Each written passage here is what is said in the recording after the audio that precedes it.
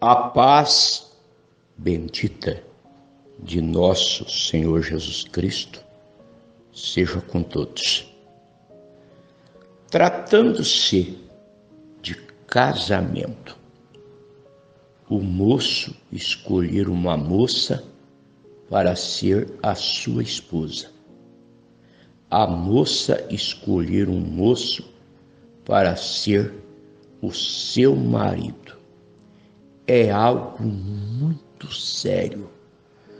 Ouçamos o conselho de Deus através do irmão Brana na mensagem Escolhendo uma Noiva, parágrafo 47. Agora, é uma coisa séria quando vamos escolher uma esposa ou a moça escolher um esposo. Porque o voto aqui é até que a morte nos separe. E assim que devíamos manter isto.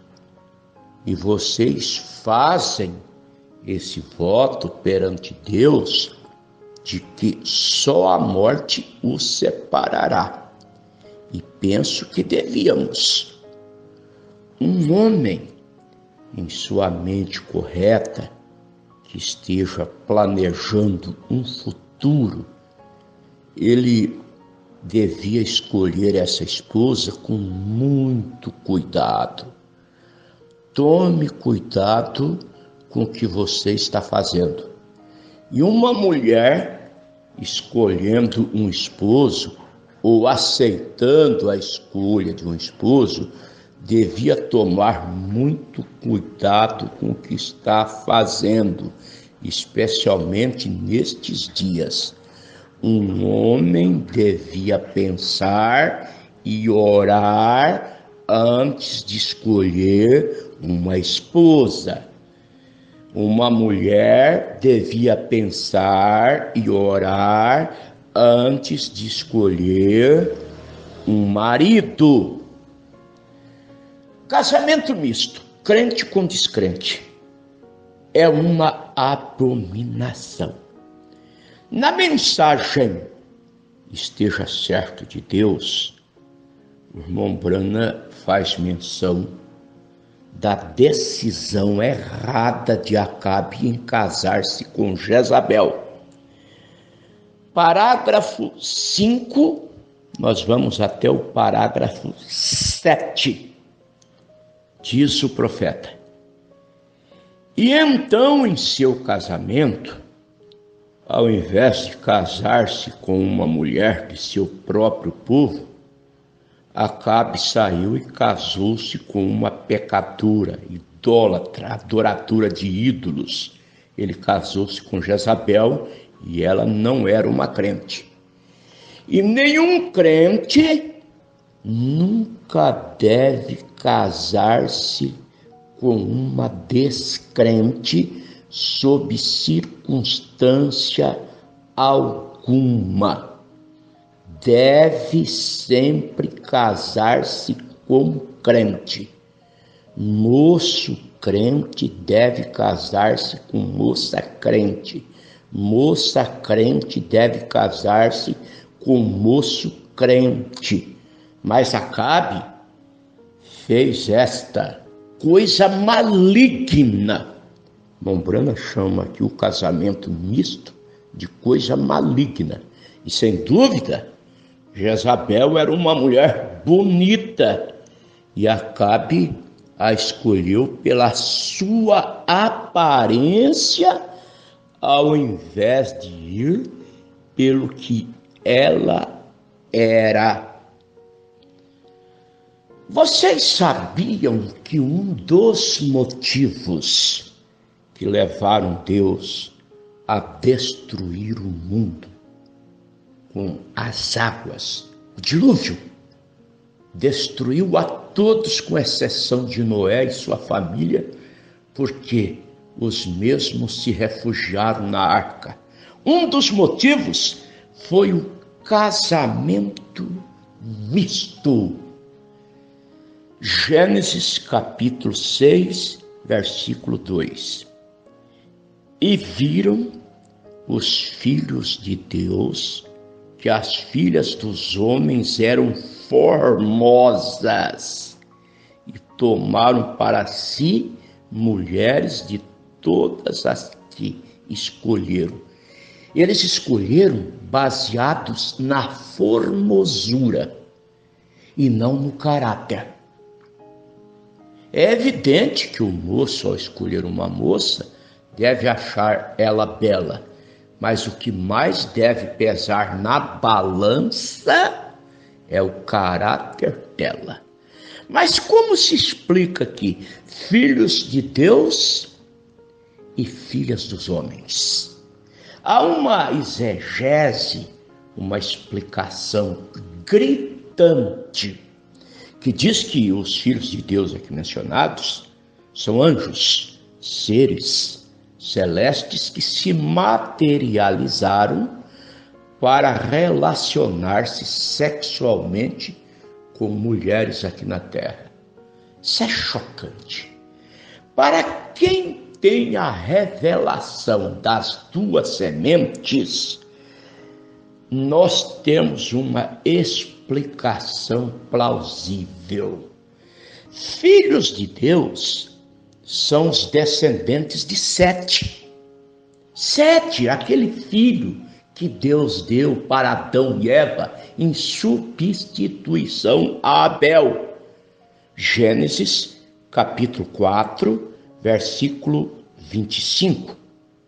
E tornou Adão a conhecer a sua mulher, e ela teve um filho e chamou o seu nome Sete, porque disse ela: Deus me deu outra semente em lugar de Abel, porquanto Caim o matou. Filhos de Deus são descendentes de Sete. E as filhas dos homens? Filhas dos homens são descendentes de Caim. Aqui estão as duas sementes. Por que, que os filhos de Deus acharam que as filhas dos homens, viram que as filhas dos homens eram formosas? Ora, filhos de Deus deviam se simpatizar por filhas de Deus. Vamos analisar em nossos dias. Uma filha de Deus é formosa? Sim, é a formosura natural. Porém, a linhagem caimita, a semente caimita, as filhas da linhagem caimita são produzidas, elas buscam beleza no batom, no esmalte, no corte do cabelo, tirando sobrancelhas excessivamente, na roupa que as deixam de uma maneira sexy, nos saltos exagerados dos sapatos. Deus não aceitou aquela hibridação. Deus não aceitou filhos de Deus casando-se com filhas dos homens. Eu me lembro de uma história que foi contada por um pastor. Ele conta que uma certa vez chegou em seu escritório uma moça. Essa moça da igreja. Ela disse: Pastor, eu estou gostando de um rapaz, só que ele ele não é crente, sabe, pastor? É, eu queria ouvir a voz de Deus a esse respeito. Eu queria ouvir a voz de Deus a esse respeito. O pastor respondeu: Sim, filha, claro, você quer ouvir a voz de Deus a esse respeito, se você, como crente, deve casar-se com esse moço descrente? Você vai ouvir a voz de Deus agora.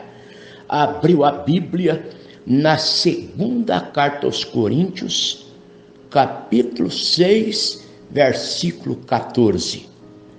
Não vos prendais a um jugo desigual com os infiéis. Porque que sociedade tem a justiça com a injustiça? E que comunhão tem a luz com as trevas? Sabem vocês qual foi a reação da moça? Ah, pastor, Bíblia eu tenho em casa. Para vir aqui para ouvir o senhor ler a Bíblia, Bíblia eu tenho em casa.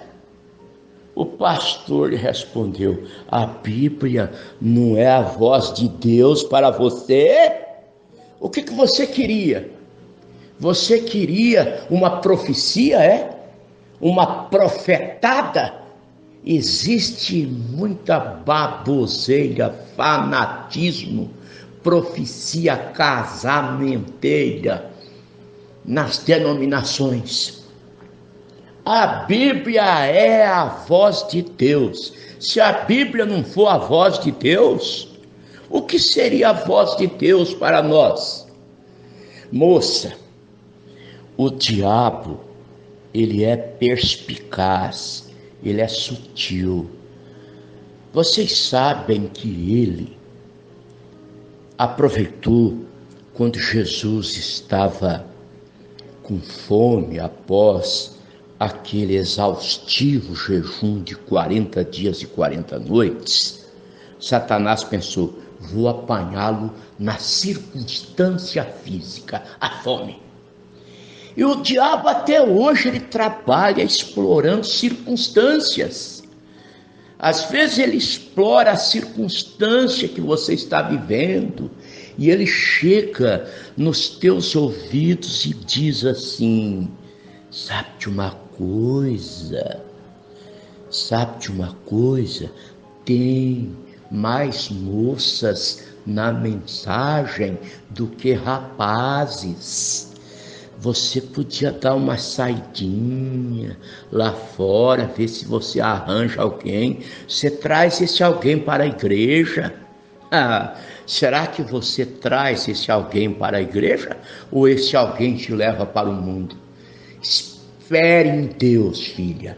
Espere em Deus. Rechace Satanás, como Jesus o rechaçou quando o diabo tentou, explorando a sua circunstância, que era a fome, para que ele transformasse pedras em pães. Jesus o rechaçou, dizendo: Nem só de pão viverá o homem, mas de toda palavra que sai da boca de Deus. São Mateus capítulo 4, versículo 4. Resista Satanás.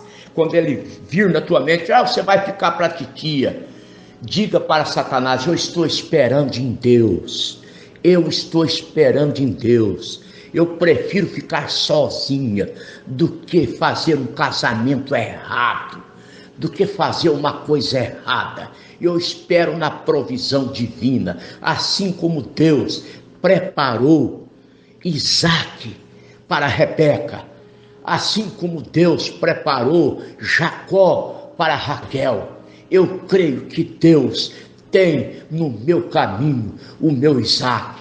Deus tem no meu caminho o moço certo. Que Deus abençoe vocês. Em nome de Jesus Cristo, todos sejam abençoados com essa palavra. Amém.